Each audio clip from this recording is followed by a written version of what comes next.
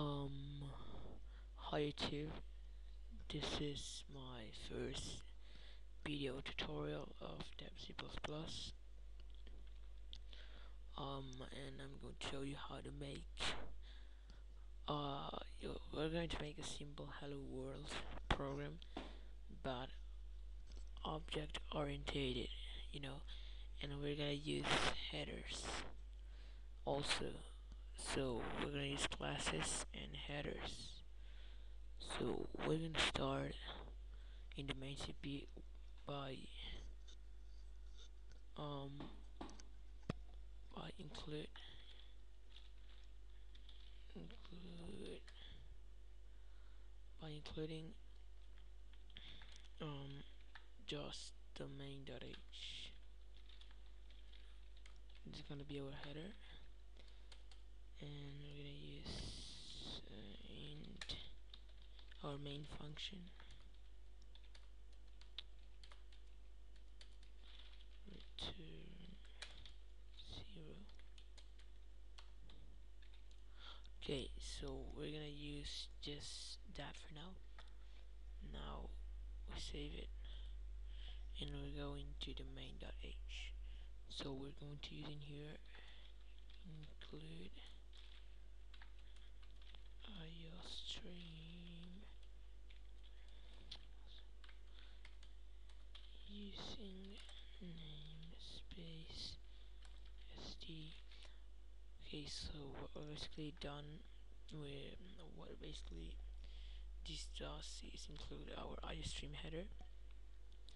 And we just had using namespace std not so not putting std in every function inside our iostream library. So now we go directly to the class. And I'll put class and what do I want to call it? I'm gonna call it like hello. Um open brackets and um um in this video I'm going to make first a hello world program and then I'm going to add some something for adding text you know and then showing it. So we're gonna have a private that we're not going to use it now. Have a public. Okay this is going to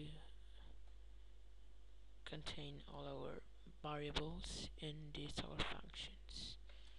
So let's go to the functions we're going to use right now um, we're going to use void um, show te show text there we go like that. And we're also um, so what this function is going to do is just going to cout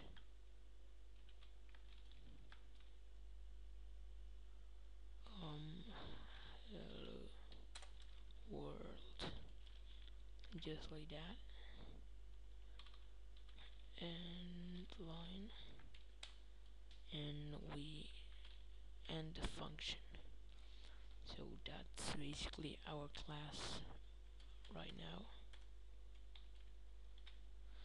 Then we're going to start adding new things to it like variables and one more function um you also you always gotta end with semicolon in the class of course.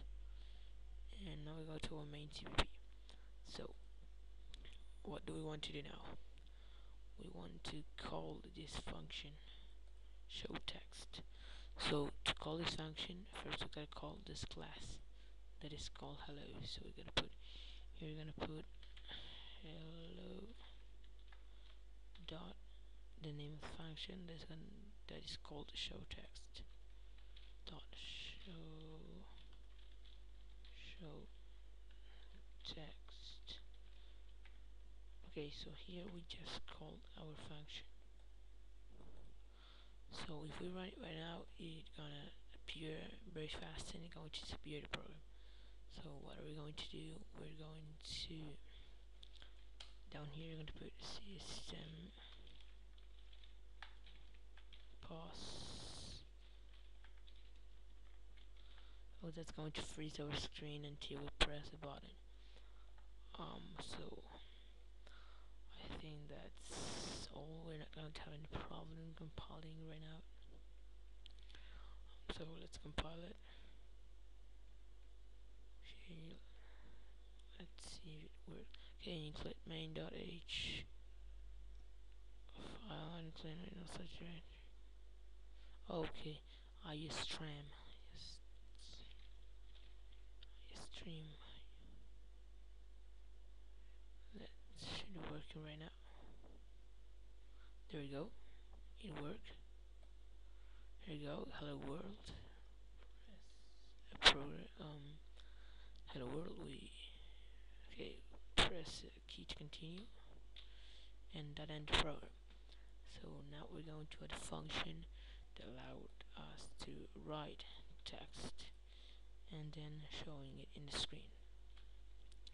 So if we're going to start adding uh, variable the is going to be a char character body so it's a char name. Is going to have it can have 20 values 20 character values. Char name sweet. Later to another function void um insert text. And what we're going to do in here is for example cout like that. Um write your name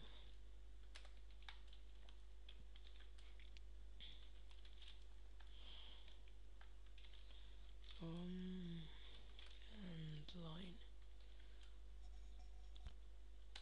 And we're gonna do in here it's cin so this function is going to allow us to write in the console.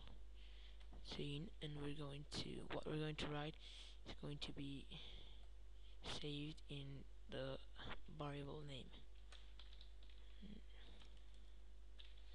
Name. And again then we're going to show what we write cout I know your name is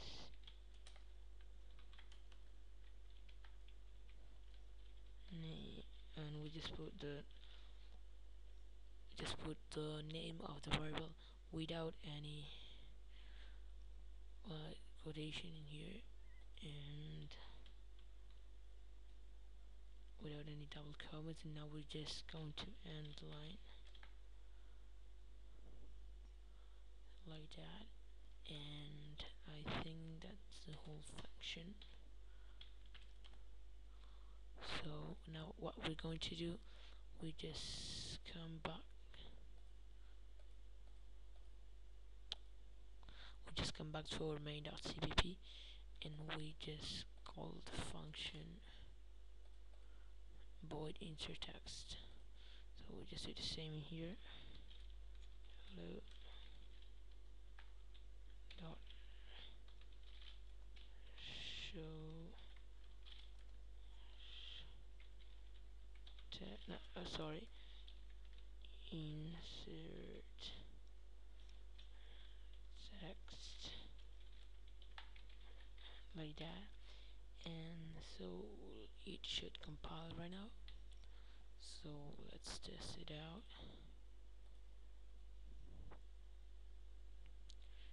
While it compiles. Okay um sorry it's permission denied okay and here we go. Hello world write your name um Martin. And your name is Martin.